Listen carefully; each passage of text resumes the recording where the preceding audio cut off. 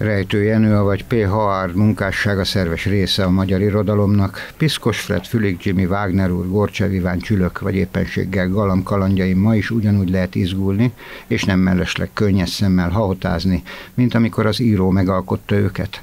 Poénjai az évek során nem porosodtak, sőt, regény részleteit sokan kívülről fújják, akár csak a verseket. Rejtőjenő hőseit Dobó Ferenc Levente Márka szobrász keltette életre, és a főutcán tekinthetőek meg.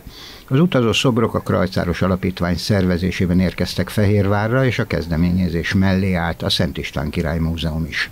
Az én korosztályom, meg hát még talán a következő korosztály is, én úgy emlékszem, hogy nagy lelkesedéssel forgatta ezeket a könyveket, és hát a figurákat meg Kocsmáros Gábor ö, ö, öntötte képregény formába, és nagyon sokaknak a kezében megfordult.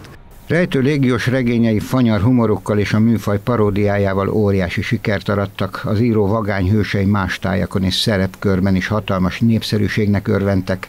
Az író zsenialitása tetten érhető, egy olyan korból szól vigasztaló és fájdalmasan emberi humorral hozzánk, amikor egyre kevesebb embernek volt kedve nevetni. Amikor találkoztam ebben a lehetőséggel úgy gondoltam, hogy itt Székesfehérváron is lenne helye neki egy néhány napig, és így utólag bizonyítja a valós érdeklődést, mert még eddig minden nap délelőtt, hát a mainál egy kicsit élénkebb forgalom volt, de jönnek-mennek az emberek, voltak külföldiek is, itt bár ők nem tudom, hogy hogyan találkoztak ebben a figurával, igaz, hogy a rejtőkönyveket sok nyelvre lefordították. A Krajszáros Alapítvány programjai folytatódnak, az együtt többet, jobban hármas jelszó jegyében a civil diplomácia eszközeivel a jó szomszédsági kapcsolatokra és a békére fókuszálva mélyítik el nemzetközi civil, önkormányzati együttműködésüket, képviselik városunkat, Székesfehérvárt